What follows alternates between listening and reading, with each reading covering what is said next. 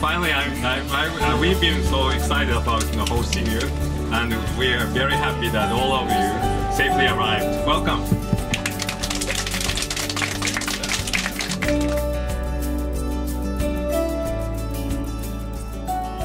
And we are now heading uh, uh, for uh, the area called Watari. Watari is a district, part of Fukushima City, the southern part of Fukushima City, where the uh, nuclear, I mean, polluted air you know, reached. So Fukushima City is not entirely contaminated by radiation, but the southern part was more contaminated than other part. So we will visit that area to see uh, what kind of like you know, decontamination project is going on and how the kind of removed you know, polluted soil are you know, piled up in the in the backyard of the ordinary and residential uh, in the residential area. Nuclear power plant is the from here to the uh, the south uh, eastward. Uh, so as I told you that you know, when the explosion took place, uh, it the polluted air comes from the uh, southeast toward this direction, and it reached to toward you know, in the, to the middle of the city.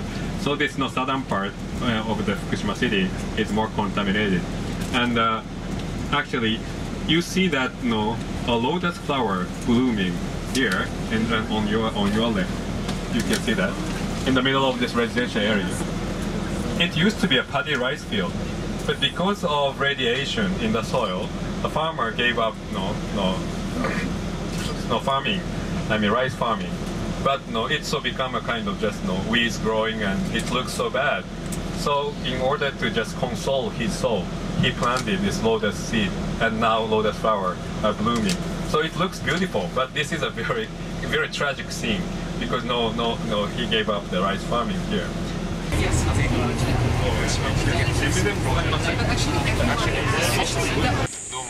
So Mr. Tao, the head of the local energy of Fukushima Saisei no literal translation would be the association for resurrecting, not just recovering, resurrecting Fukushima. Uh, Thank you for coming despite this hot weather. えっ、とここがあの菅野宗男さんのあの自宅で Mr. Kano and his home. それからあの我々は3年前から菅野宗男さんとここでそれからここを場所を拠点にして全全村に走っていろんな活動をやってますのでこれをごご紹介今日します So we are, we've been working with Mr. Kano for over the past three years, and we are doing a lot of you know, activities too, and uh, not only here but also in the entire village.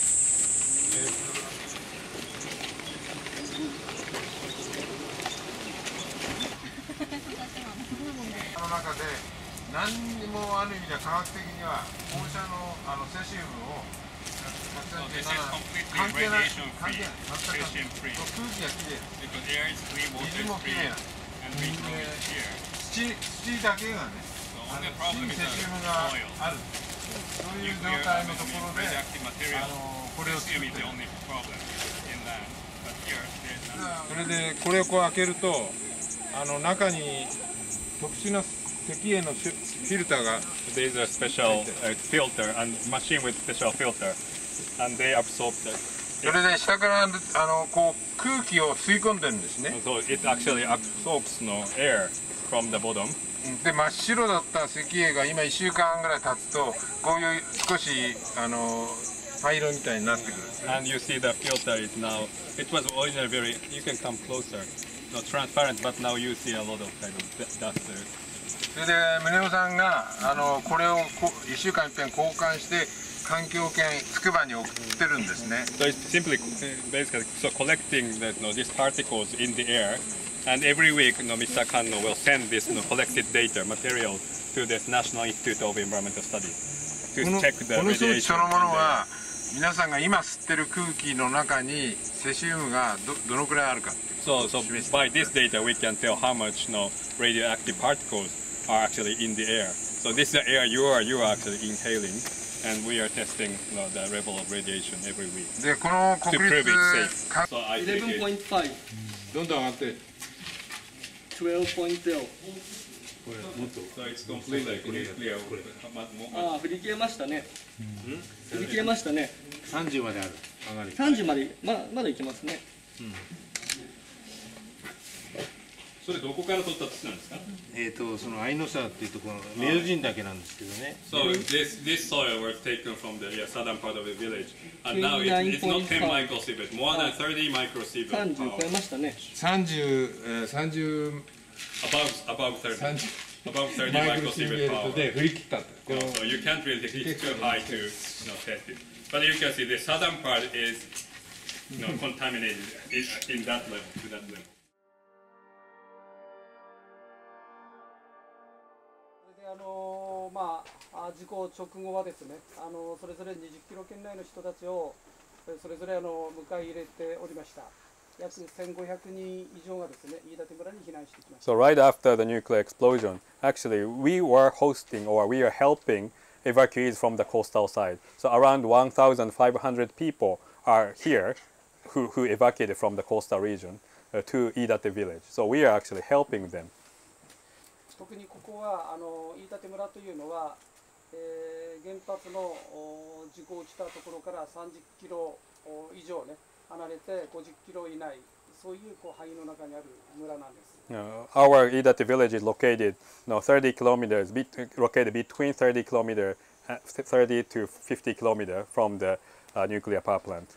Because of the wind direction, the nuclear no, materials were kind of flown and kind of thrown, uh, no, driven and dropped uh, in this village.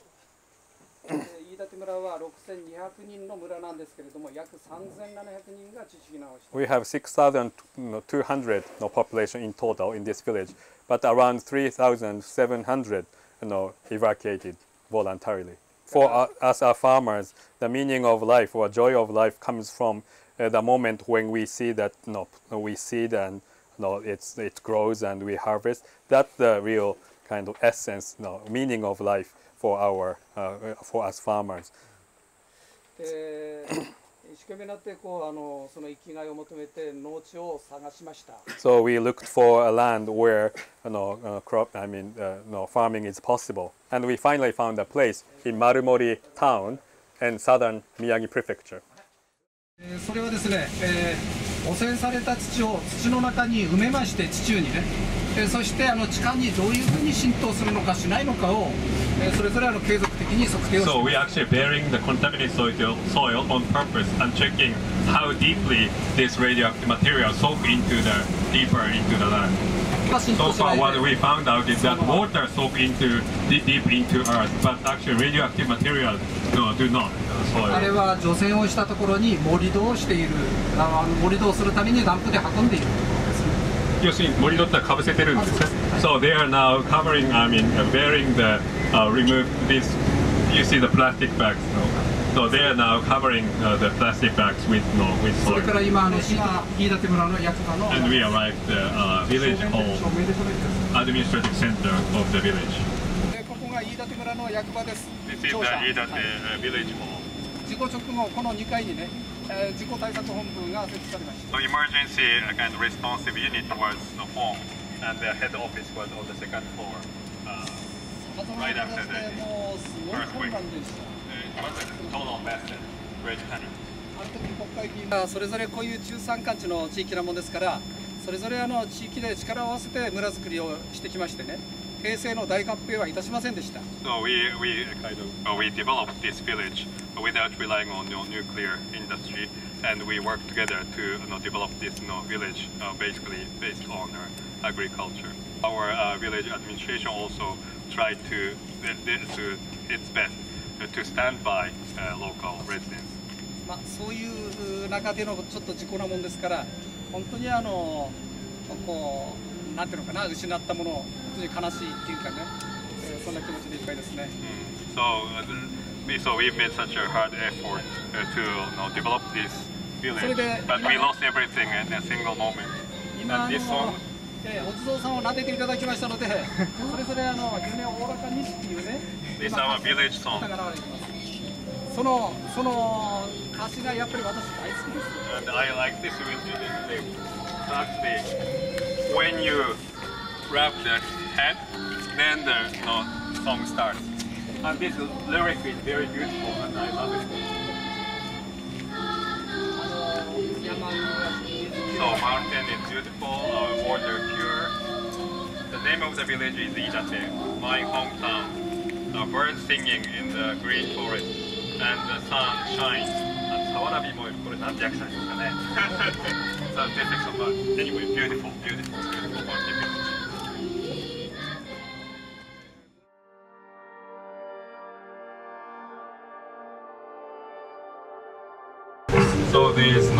Weeds are actually uh, combustible garbage. So actually we can burn it. But because radioactive materials are you know, contained, the ashes can't be buried uh, in an ordinary way.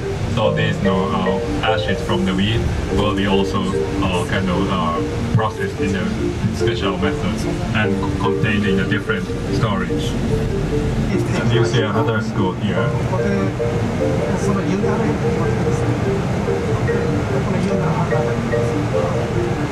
でここは飯戸井小学校というところです。飯戸井プライマリースクール。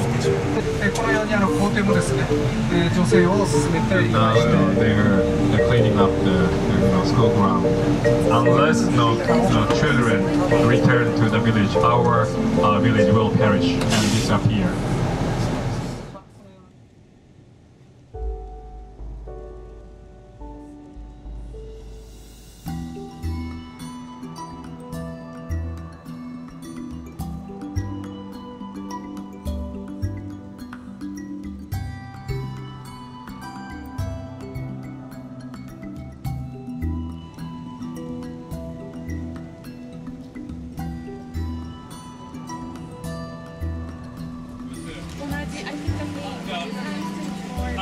後で皆さんにあの回します。ので、私の方で青木さんと連絡してあげます。じゃ皆さん、本当改めてもう一度お礼ありがとうございました。どうもありがとうございました。また、どうも失礼いたします。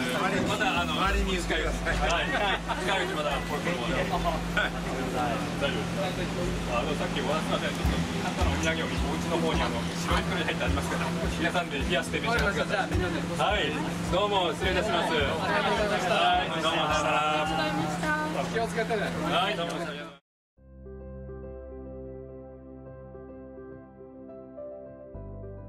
My name is Toshiki Akiyama. I'm from Fukushima, the capital city Fukushima of Fukushima Prefecture.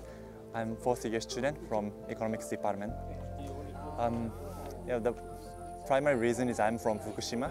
That, that, that fact uh, motivated me to join this trip. Um, from the first year, I was looking for the way in which I can help Fukushima in some way, and this is the one of one of its event. And uh, yeah, I thought the purpose is very good, and uh, I thought I can learn many things. Definitely, it was uh, very sensitive and uh, meaningful trips. Especially the talk from the Kanno-san in Iitatemura was um, yeah, beyond expression. I already made some nice friends with Harvard from Harvard, so in that sense, it's also very good time today.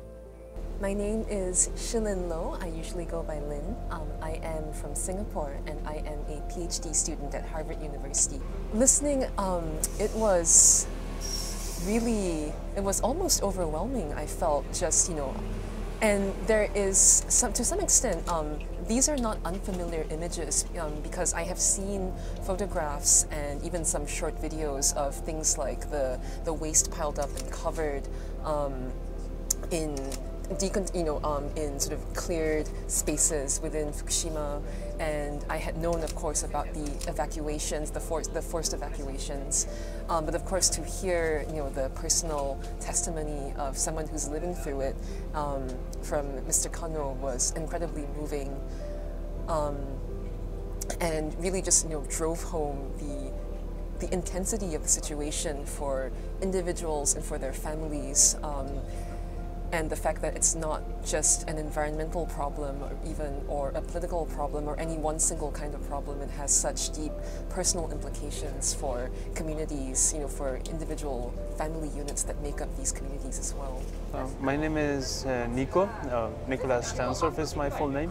I'm originally from Chile, but right now I'm a postdoc at the Weatherhead Center at Harvard University. I just finished a PhD in anthropology, and I spent two years here in Japan studying food safety after 3/11. So questions about radiation and how people decided whether food was safe or not uh, because of the Fukushima nuclear accident. Well, today we came here to Fukushima with a group of uh, Harvard students in conjunction with uh, students from Tohoku University and we're visiting we visited areas uh, such as Iitate and uh, Fukushima City. It's, been a great experience. Um, actually, for me as well, I never, even though I studied this, I had never been to places like Iitate that were evacuated. I, I had always stayed for my research in areas that were further inland, where people were, uh, uh, where there's less radiation comparatively. Yeah, it's been a great experience uh, today. Um, they, I was surprised at how much uh, how much dirt it was accumulated. So we saw a lot, and through the bus we saw a lot of um, places where they were doing the contamination work, which basically means uh, collecting the topsoil, like the, the, the, top five to 10 centimeters of topsoil and accumulating it in bags. And one of the things that uh, as we were driving around, we saw over and over again were just towers and piles and piles of these bags uh, accumulated with radioactive dirt, and that they're definitely not in a they're not in their final resting place. These are temporary sites um, that are still right next to where people live, and they will eventually have to be moved somewhere to be deposited more permanently. Um, I helped plan this study tour because it's a great opportunity to reflect on the situation in Fukushima and learn what's going on right now. Um, it's short tour, but we could exchange various opinions with Harvard students, which was really valuable. In Fukushima, there are a lot of problems related to the nuclear accident, but there are also people who don't give up trying to solve them. I think, especially for young people in Japan and overseas, it's really important to know the present condition in Fukushima in order to deal with these problems in the future.